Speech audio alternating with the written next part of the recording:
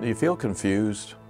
Do you sometimes feel just scared because of life's uncertainties? Do you have some relationships that you just can't figure out and you wish you could be more patient or more loving, but it seems so hard? Would you like to let go of some of your judgments of others? And what about self condemnation and feeling mired in your own sense of futility or regret?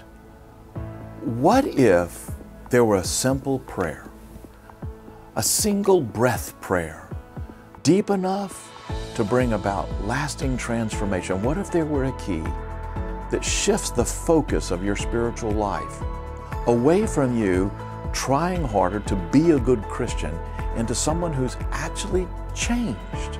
I want to offer that prayer I want to offer that invitation in my newest book, Seeing as Jesus Sees, where I tell about a simple prayer. Jesus, how do you see this?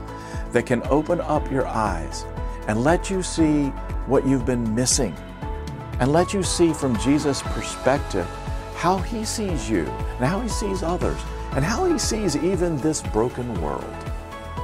It's an invitation all throughout your day to pray to be connected with Him in a simple spiritual discipline, saying, Jesus, how do you see this?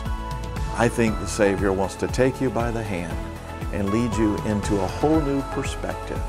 And when you join Him and look through His eyes, I promise you're going to love the view.